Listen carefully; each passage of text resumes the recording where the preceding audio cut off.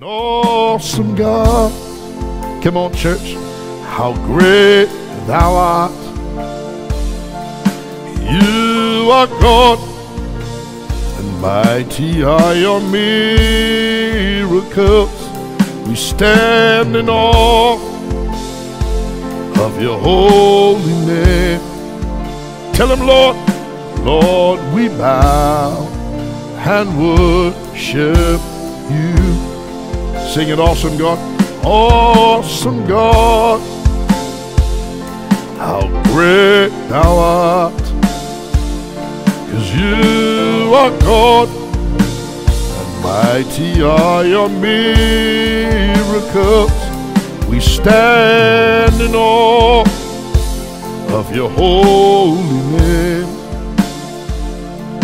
Lord, we bow and worship you. Come on and sing it with me. Awesome God, how great thou art. You are God, mighty are your miracles. We stand in awe of your holy name. And Lord, we bow and worship you. He's the King of kings, Lord of lords. Sing it with me. King of kings, Lord of lords, everlasting King, Savior, Redeemer, soon coming King. King of kings, Lord of lords, everlasting King, Savior, Redeemer, King of kings, King of kings, Lord of lords, everlasting King, Savior, Redeemer, soon coming King, King of kings, Lord of lords, Savior, Redeemer, He's awesome. He's awesome. Come on. He's awesome. My God is awesome. He's awesome. Awesome God. How great thou art. Thank you, Jesus. You are God, and mighty are your miracles. We stand in awe of your holy name. Thank you, Master. Lord, we bow and worship you. Greetings and welcome to the morning prayer broadcast. My name is Samuel Pinder. I'm the son of Pastors Sean and Aimee Pinder. I work the sound at the church and I do a lot of the video editing, and it's been an honor to serve my parents in the ministry. And I am grateful and honored to be on here on this morning prayer broadcast. I do have a word for you today, but before we get into that, I just want to lift you up in prayer. Father God, we lift your people up before you this morning. We pray that you that you would use this word to bless them, speak to them, encourage them, uplift them, help them in their day-to-day lives, Lord. Answer their prayers, bless them, and use this word to strengthen them. In Jesus' name I pray. Amen. So today we're going to be talking about the prayer of agreement. And that's when a group of people come together and pray for one common thing that they need God to do in their lives. And it's very powerful for people to do that. So the Bible says in Hebrews chapter 10, verse 25, and let us not neglect our meeting together as some people do, but encourage one another, especially now that the day of his return is drawing near. This is Paul. He's encouraging the church members to keep meeting and praying together. This is Paul. He's encouraging the church members to keep meeting and praying together because when a group, a body of believers get together and pray, stuff happens. God answers prayer. It's very powerful for that. So, uh, the main portion of the story, I'm going to be talking from Acts chapter 12 in the New Living Translation. It says in verse 1 About that time, King Herod Agrippa began to persecute some believers in the church. He had the apostle James, John's brother, killed with a sword. When Herod saw how much this pleased the Jewish people, he also arrested Peter This took place during the Passover celebration. This is almost similar with what happened to Jesus. Jesus was arrested during Passover, and King Herod of Agrippa is trying to please the Jews, so he's trying to kill Peter as well, because just because he killed James, he could get away with doing it to Peter. It says in verse 4 Then he imprisoned him, placing him under the guard of four squads of four soldiers each. Herod intended to bring Peter out for public trial after the Passover. And it says in verse 5 But while Peter was in prison, the church prayed very earnestly for him.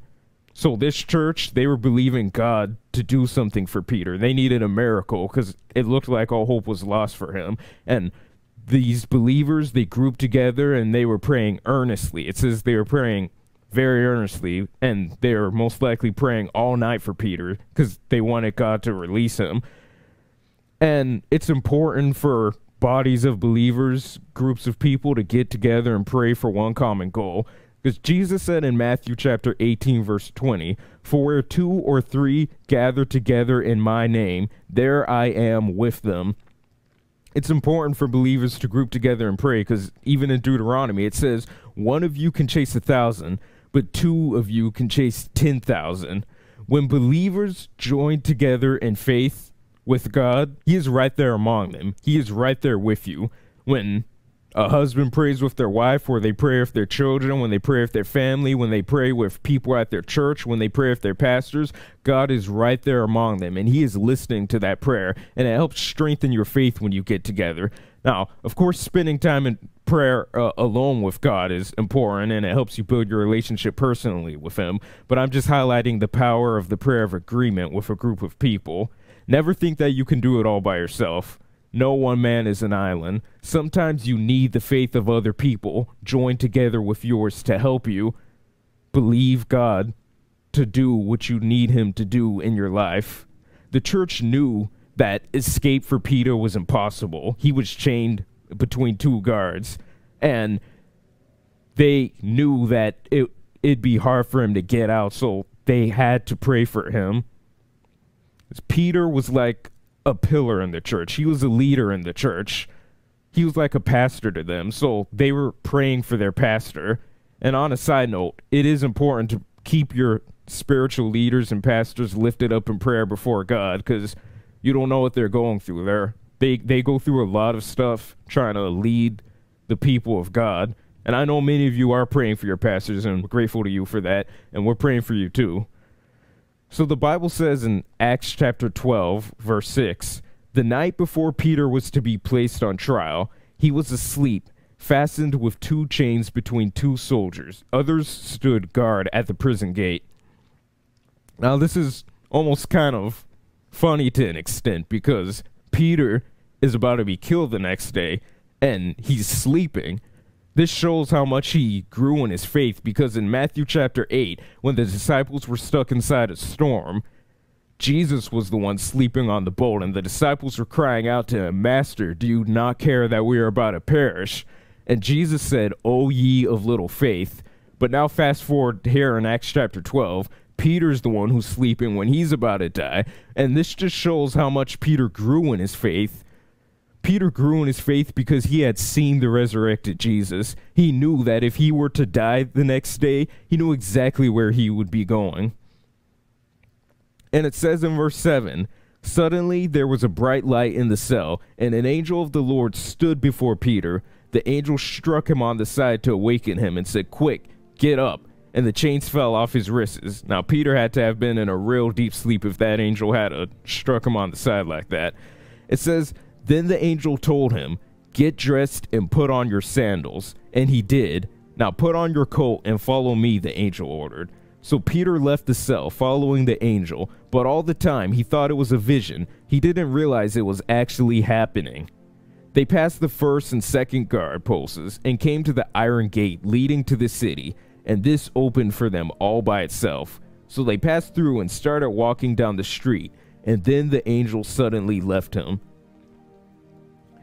Peter didn't even realize all, all, of this was true. He thought it was a vision. But in verse 11, Peter finally came to his senses. It's really true, he said. The Lord has sent his angel and saved me from Herod and from what the Jewish leaders had planned to do to me. When he realized this, he went to the home of Mary, the mother of John Mark, where many were gathered for prayer. They were still praying for Peter. They didn't even know that God was already answering their prayer in that moment. God may be answering your prayer right now and you don't even know it. You're still praying for it, but God is answering you right now. I want you to take courage because your answer is on the way. Just keep praying and keep having faith. It says in verse 13 He knocked at the door in the gate, and a servant girl named Rhoda came to open it. When she recognized Peter's voice, she was so overjoyed that instead of opening the door, she ran back inside and told everyone, Peter is standing at the door. She was so happy that she just ran off and didn't even let him in. In verse 15, the people said, You're out of your mind.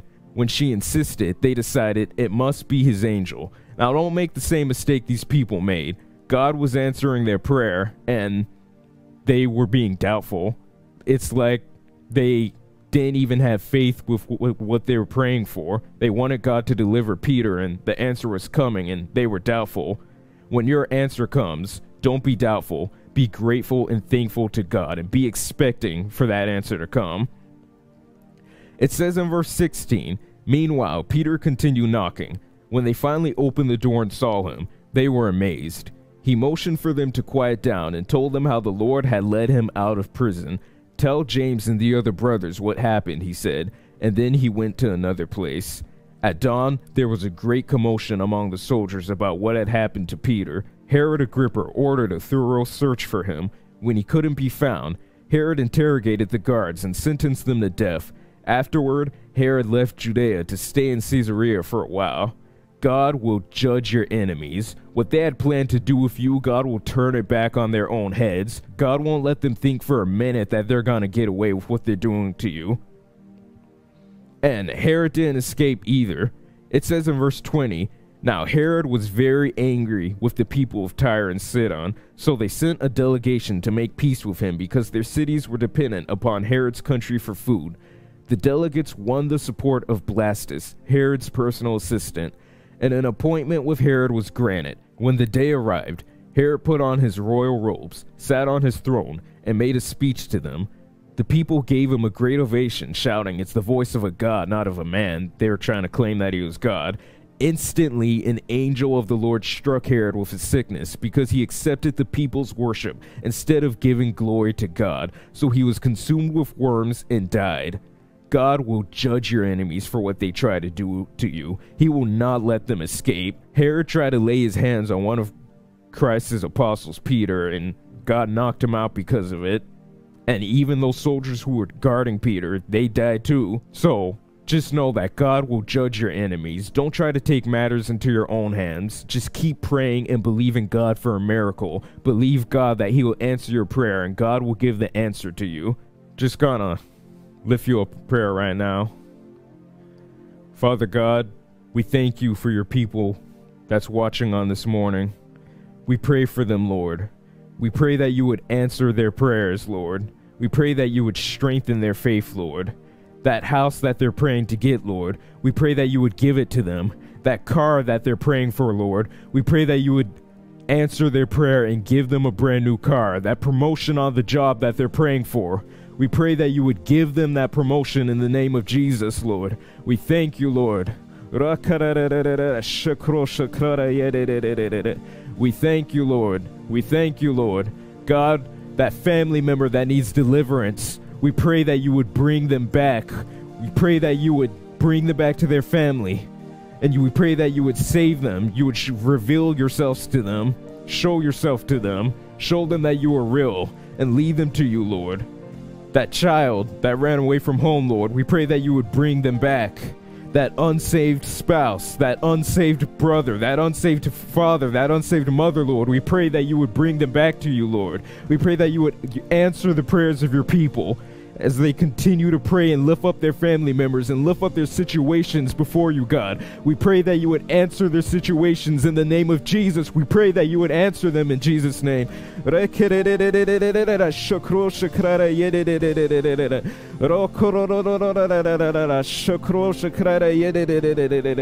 Your answer is on the way. God is about to answer you.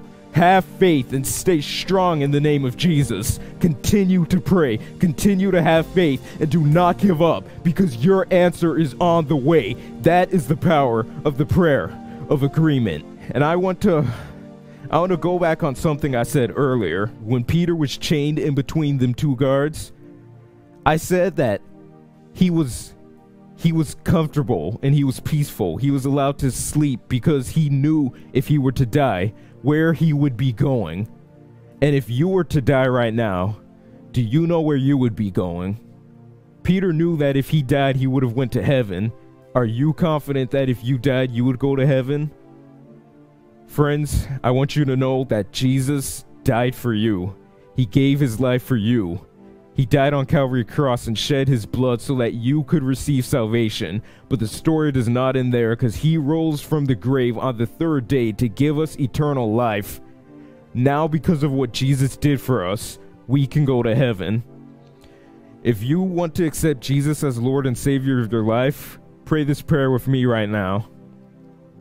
Father God, I come before you right now just as I am, a sinner.